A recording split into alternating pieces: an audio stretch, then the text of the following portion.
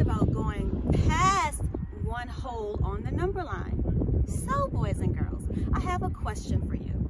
Mrs. Williams has just walked six times around this track. Six times around, more than one mile. The question is, how many, what is the fraction that Miss Williams just walked? Write it in the comments below.